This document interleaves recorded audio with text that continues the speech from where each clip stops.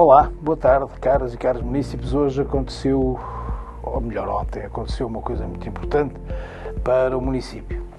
O governo finalmente resolveu intervir da maneira que sempre lhe foi pedida pela Câmara Municipal na Fundação Mata do Saco.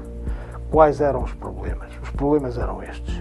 É que tínhamos uma autoridade local, a Câmara Municipal, o município, a assumir a maioria das responsabilidades num conjunto monumental que é monumento nacional e, portanto, e que é património do Estado.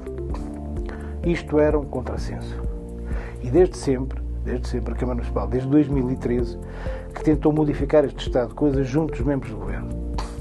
Tivemos finalmente razão, foi-nos dada finalmente razão pelo Sr. Ministro do Ambiente em agosto de 2020, encarregando o Sr. Secretário de Estado das Florestas de modificar este assunto depois de alguns adiamentos, finalmente o Conselho de Ministros aprovou um novo diploma em que o presidente da Fundação será indicado pelo membro do governo tutelar as florestas.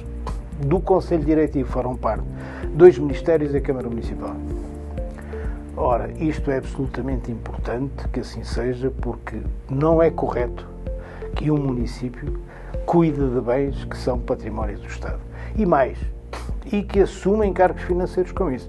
Que nós aceitemos alguma parte do esforço financeiro que se tem que fazer para cuidar da mata, dos edifícios, tudo isso, nós aceitamos. Agora, que tenhamos que ter a responsabilidade total praticamente disso, isso é inaceitável.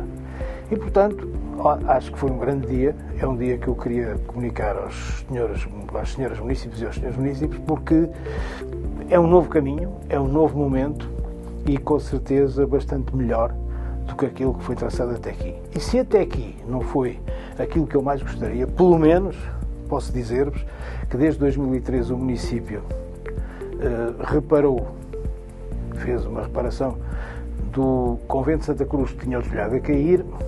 Aliás, não sei se sabem, mas no convento de Santa Cruz, em 2013, aconteceu uma verdadeira desgraça. Ardeu um quadro. Esse quadro era de José Fadóbitos. Era um quadro que valia entre 80 a 100 mil euros. Esse quadro ardeu, julgo eu, julgo eu, porque houve imprevidência e houve incompetência de quem, eventualmente, à frente da Fundação, não tomou o cuidado que devia ter tomado na defesa daquele património tão valioso. Mas isso é passado. O presente é assim. Foi retificada toda a instalação elétrica do convento. Foram metidos câmaras, foram metidas câmaras, foram colocados sensores. O convento hoje recebe pessoas, está bastante bem recuperado e, ao mesmo tempo, as capelazinhas da Via Sacra foram também uh, reparadas.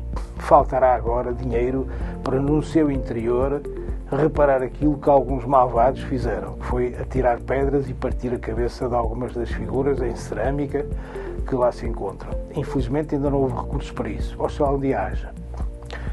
Temos a intenção de, e já fizemos uma candidatura no sentido de atuar sobre as garagens do Palace, o concurso público está lançado, vamos ver quando poderemos adjudicar e andar para a frente com mais uma recuperação de um edifício na Mata do Saco. E acredito que os fundos comunitários também nos vão ajudar.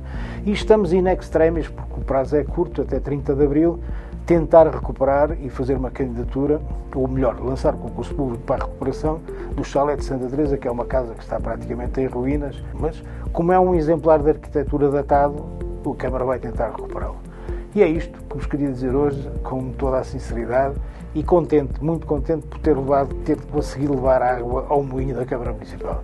Boa tarde a todos e muito obrigado.